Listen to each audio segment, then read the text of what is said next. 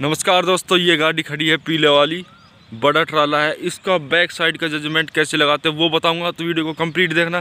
Channel पे पहली बार आए तो सब्सक्राइब और लाइक ज़रूर कर लेना। बहुत ही इम्पोर्टेंट वीडियो है, पूरा नहीं देखोगे तो मज़ा नहीं आएगा। तो ये बहुत बड़ी गाड़ी है। इसको कैसे जजमेंट करते हैं?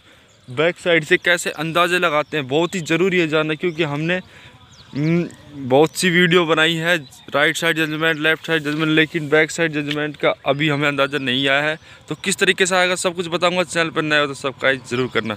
चलिए वीडियो को स्टार्ट कर। देखिए, ये गाड़ी जो है बहुत बड़ा है और इसका आप टायर जान सकते हैं।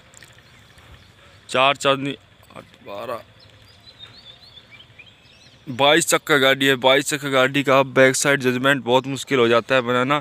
और जब इसकी कटाई करते हैं तो ये पीछे की साइड घोड़ा जो है घोड़ा बहुत मुश्किल से बाकस में आता है, इसको बनाने में बहुत टाइम लग, देखिए गाड़ी बैक करते हुए हमारा जो है पीछे का बम्फर टूट गया है कोने वाला साइड का। तो इसको बैक कैसे करते हैं? सबसे पहला इंपॉर्टेंट टिप्स बताऊँगा, पाँच ऐसी टिप्स बताऊँगा कि आप कभी ज़िंदगी में फैल नहीं हो पाओगे, ये टिप्स जानकर। तो सबसे पहला टिप्स है कि कभी भी हम बैक करते अपनी गाड़ी को तो सबसे पीछे का जो कोना है, सबसे पीछे का कोना, आप जो है ड्राइवर साइड होते हैं सबसे पीछे का कोना बम्फर होता है उसको देखिए।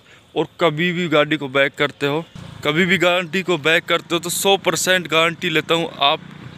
सौ परसेंट गारंटी लेता हूँ आपकी गाड़ी कभी भी हम्म, मतलब कि पीछे की साइड नहीं ठुकेगी। बम्फर पे ध्यान रखना है। दूसरी टिप्स आपको हमेशा अपनी गाड़ी आपको हमेशा अपनी गाड़ी के जो पीछे के टायर होते हैं, चाल वाले टायर और सबसे पीछे के टायर, इन पे ध्यान देना है। कभी भी आपकी गाड़ी नहीं ठुकेगी, ना ही कोई प्रॉब्लम आएगी। इन दोनों चीज़ों पे सबसे ज़्यादा ध्यान देंगे। नंबर दो नंबर तीन। और अपनी गाड़ी के उस साइड के शीशे में आपको देखना है हमेशा।